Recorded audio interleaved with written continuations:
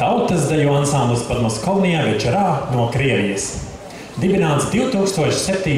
gadā. Ansambļa repertuāru veido tikai tautas dziesmas un tautas dejas.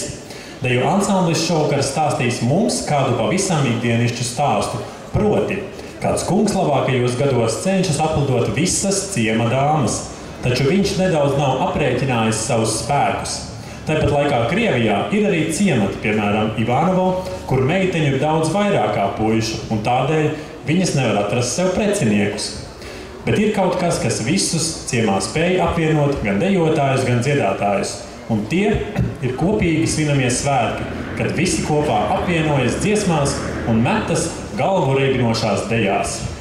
The folk dance ensemble Padmaskovnija Večerā was established in 2007. The repertoire includes only folk songs and folk dances.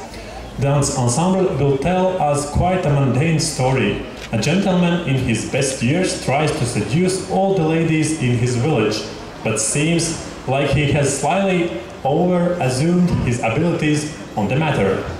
At the same time in Russia there are also villages like Ivanovo where there are a lot more girls than men because of what they cannot find themselves husbands. There is something about it all that can combine all the dancers and singers of the village.